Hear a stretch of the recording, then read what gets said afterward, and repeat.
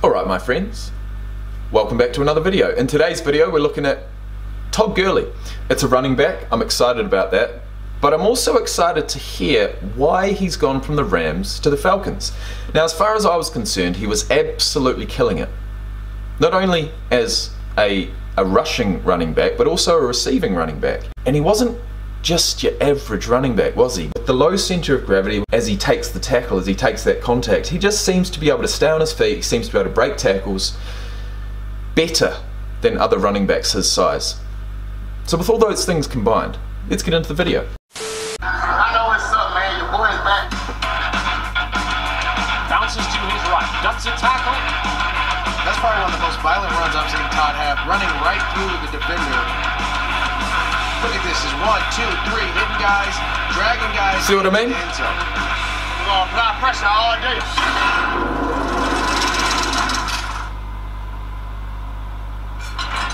See? What the fuck, bro? He went from 5 to 51. Why? Todd Gurley, 1994, 6 foot 1, 225 pounds.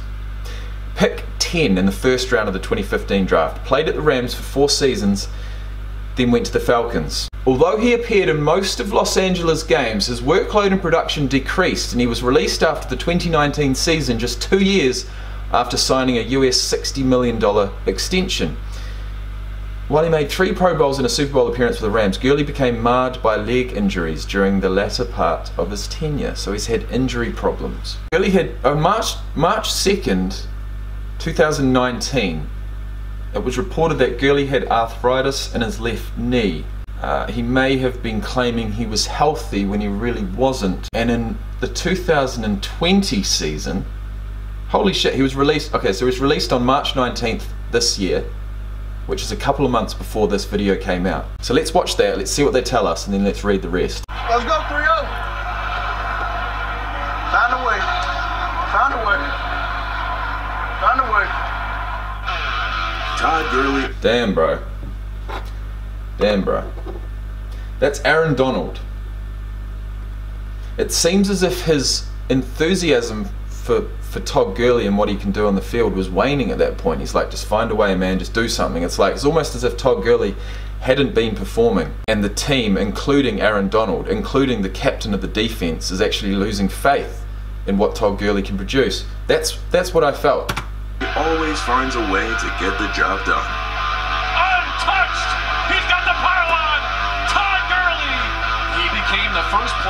Rams history to score 13 or more touchdowns in three consecutive seasons.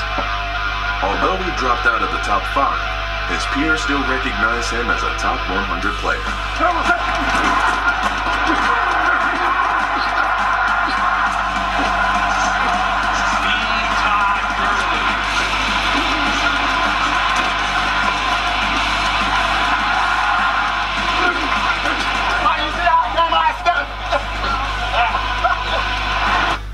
Shit,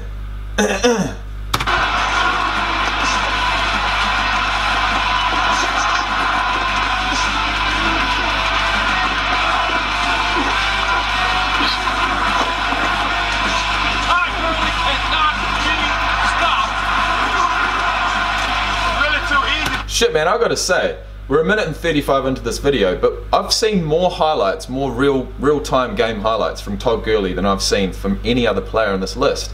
I actually really, really enjoyed that, and I'm sorry, Todd.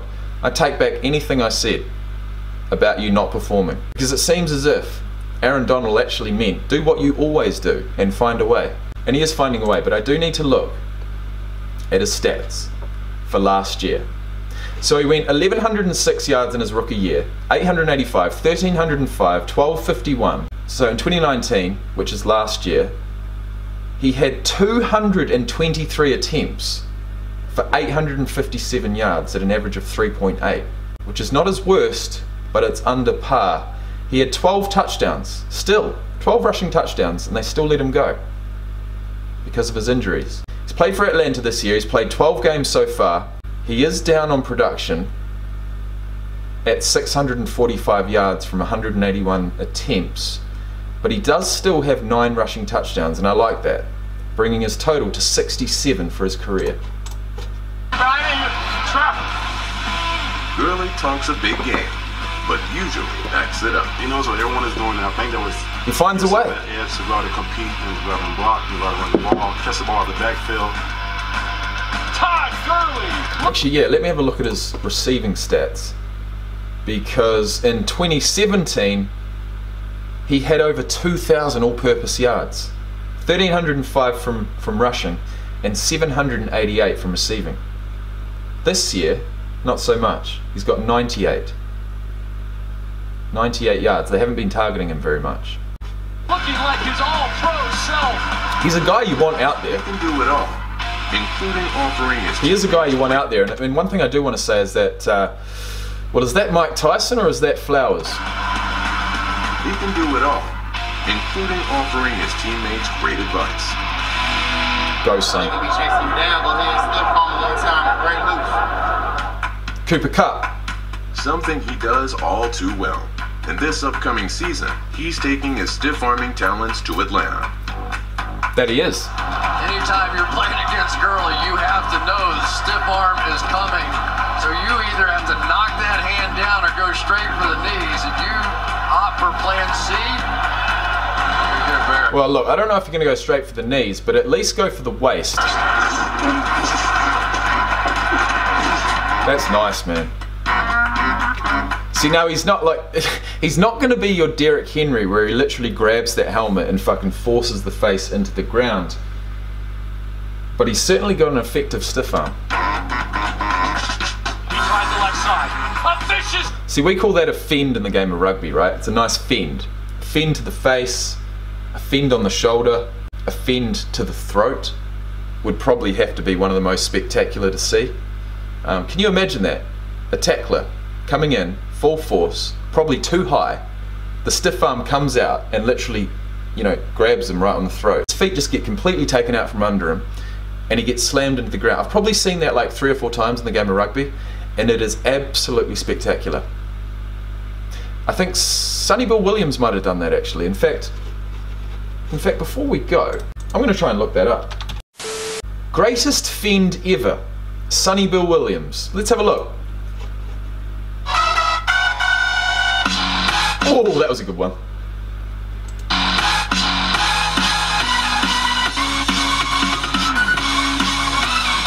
I'm hoping we get some. Um, oh my god. We'll find it here. high profile career of Sonny Bill Williams. I fucking love Sonny Bill Williams, by the way. He's one of my favourite rugby players of all time. And if we can find this fend in high quality, uh, it's it's going to be a cracker. It's going to be an absolute cracker. There we go. Oh, mate, look at that. That's the kind of shit I'm talking about. Now, now Sonny Bill Williams is bigger than Derrick Henry. Oh, look at that. Way too high. Way too high. Slammed right in the throat. In fact, we'll call that a throat slam. His feet are taken way out from under him. He's got no power, nothing behind that tackle.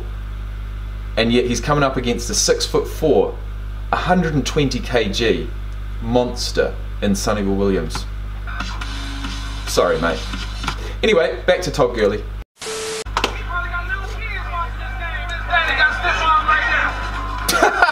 That would not be good, eh? Fuck, you'd feel embarrassed. If your kids are watching your game and you got stiff arm right to the ground, you would, you would. And I guess it's at times like that where you've you sort of wish that you hadn't raised your kids to be smartasses because they're not going to let you live that down. Play of the season happened in his new home, in front of his new fans. Hey, Dad, remember that time that you got stiff armed into the ground? all the way, lobs the ball to Gurley, out of the backfield, over the shoulder, he brings it in! Todd Gurley with one of the great catches of his career. His success started from you know his understanding of the game. He tries the left side, a vicious stiff arm. He probably got little kids watching this game. His daddy got stiff arm. To be honest, that was pretty much as spectacular as the one before. I'm not going to lie. He's got a stiff arm. His best play of the season happened in What did he say? His daddy got stiff arm right now. his best play of the season happened in his new home, in front of his new fans. looking right all the way. Lobs the ball to Gurley out of the backfield. Over the shoulder. He brings it in. Todd Gurley with one of the great catches of his career. His success started from you know his understanding of the game, and he just let his athletic ability just take over from there, and he's by far one of the top three backs in this league. Oh yeah, no doubt. Oh, what's up, man? Your boy is back. Your boy is back. Okay. That was cool. He's playing for Atlanta. He's he's he's he's still being productive. I mean, he's he's starting games, right? He's a starting running back, which is good. Good to hear. Um, I just hope that he can bring it back and and you know smash out another thousand yards next season. And I reckon he's certainly capable of it. So I give him all my support. I say, Todd Gurley, I want to see you in the top 50 next year.